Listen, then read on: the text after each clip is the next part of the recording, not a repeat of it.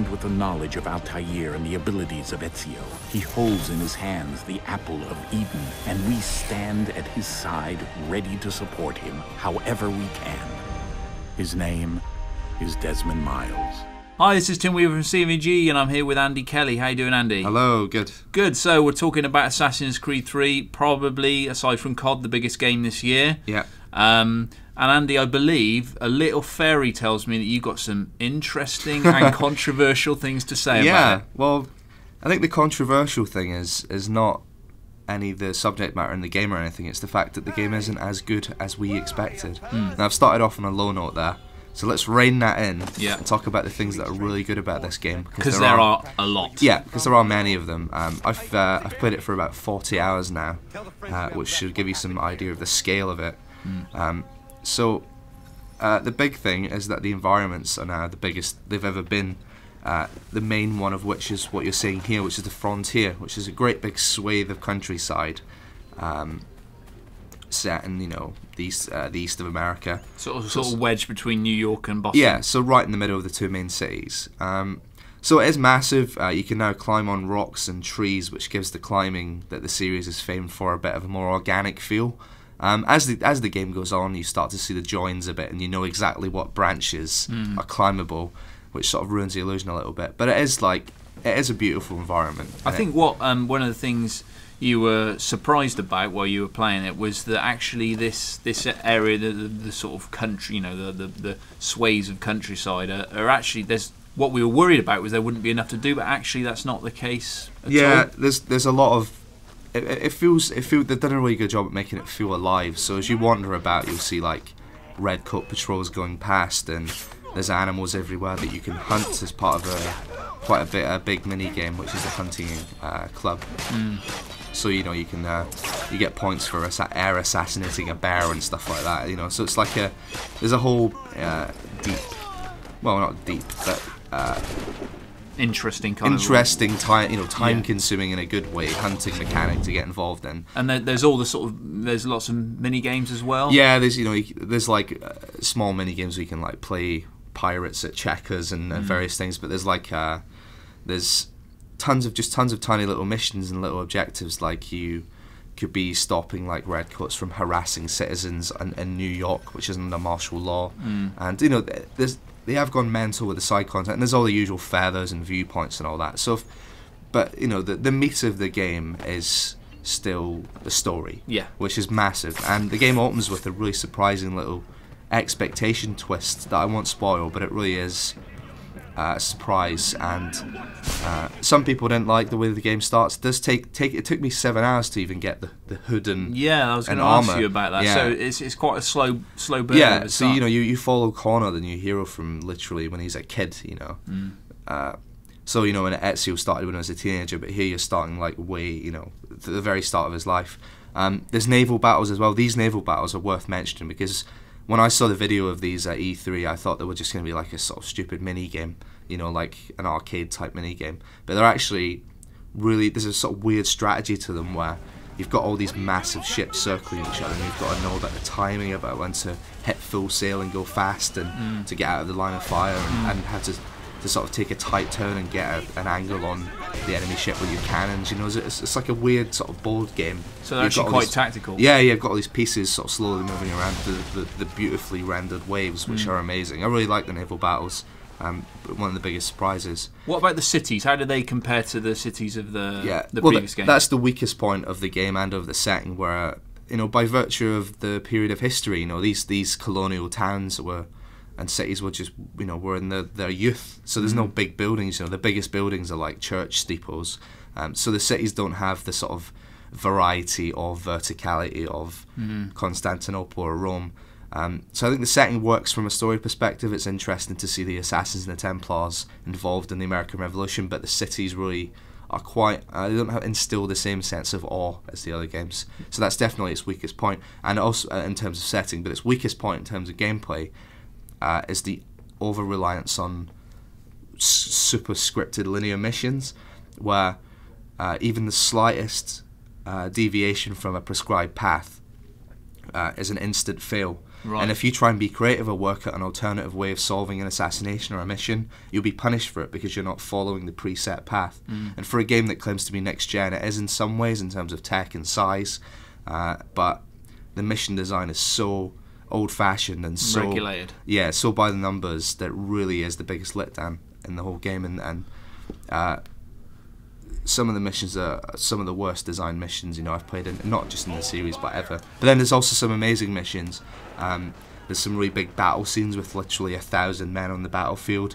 Uh, this is uh, there's some battles take place in the frontier like this one, which are quite fun. It's kind of like a mini game where you're uh, ordering trips and stuff.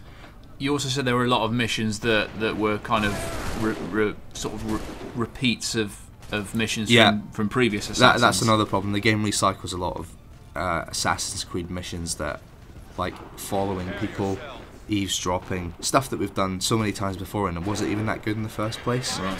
So it retreads a lot of ground that the other games have, but doesn't update them in any significant way. And there are a lot of those missions because I know you really en- while you were playing it, you really enjoyed the first half of the game. You, Yeah. you were, I mean, you were thinking this is this is really good, really lives Yeah. up to billing. But second half, you you sort of slowly Yeah. started liking it a little less. Is that because those missions are more towards the end of the game, yeah, or it- once the sort of novelty of the setting is worn off, and you just want to get stuck into the missions, by about sequence six, which is about halfway, maybe a little more, um, it does really lose its way, and those super scripted missions just become the the norm. So every mission is like a you know, follow a guy slowly, very slowly through a series of streets. And if he sees you once, uh, it's an instant game over. You know, that we should be able to. In a game like this, you want to adapt to a, a Yeah. problem, like you know, we've seen in Dishonored. Yeah, I was going to say yeah. about Dishonored. I mean, in a, in a year where we've got a game like Dishonored where there's Yeah. like infinite, well, not infinite, but near infinite possibilities in a level, it does feel like a real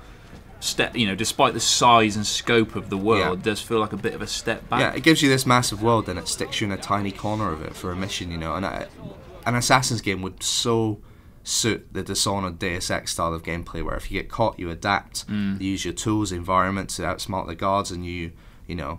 But they they just decide in this that if you mess up even the slightest thing, and it's not because it's hard particularly, um, it's just that you know the stealth sections being as they are, sometimes you'll stumble out of a corner or something and get spotted, and it'll just go synchronization failed, and it will kick you way back, Mm. and you're like, oh, I have to follow that man slowly through the street again, and it's just no fun.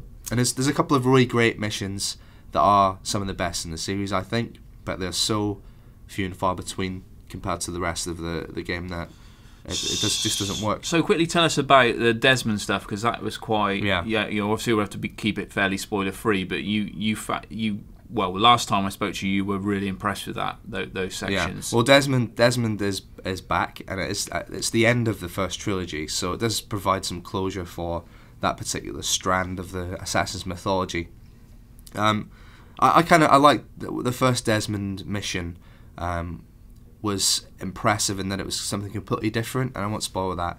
But there's three, there's sort of three main Desmond missions, and they're all they bring that gameplay to the present day. So they bring the Assassin's gameplay to the present day. Uh, it's hit and miss again. The mission design is still the second Desmond mission, particularly, is still plagued by that uh, mechanical, rigid mission design. Right. So that is really the, biggest thing holding this game back is they've got it's sophisticated and free in so many other ways, uh, but then they're just plagued by. It's almost like they spent so much time making the setting and coming up with a story, and because there's so many characters in it, it's a very complex story, you know, full of like 50 guys in tricorner hats that you'll be struggling to remember their names. But it is kind of engaging in the way the Assassin stories always are. But they seem to have spent more time on that than actually um, the game. and working on making Mechanics. yeah and making it uh, you know we, we just need those dynamic missions that really will make this the, the, the great assassin's tool set you're given feel you know make you feel powerful Yeah. like you know even look at something like uh, Arkham City where you you know even in the open world there'll be a little bit a little predator type mission where you it'll just be seamlessly bending into the map Yeah. and you can go anywhere you can you know go up on any rooftop or whatever And this it'll mostly say oh, you've wandered too far away from the objective, synchronization failed, like really abruptly just end, and then Right. there'll be a loading break. You know, having to endure a loading break every time the game, decides you straight yeah, too far d- decides, yeah, decides you've failed. You know, it's really disappointing.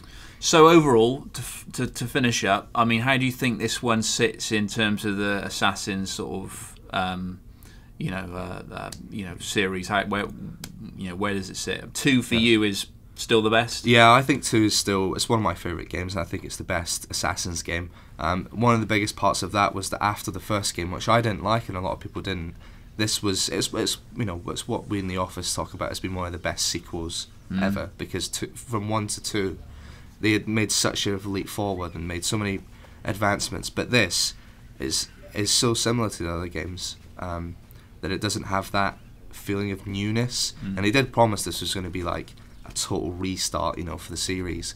But and while it, it feels more like a sequel than Revelations and Brotherhood did, um, which felt more like expansions of Ezio's story, which they were kind of.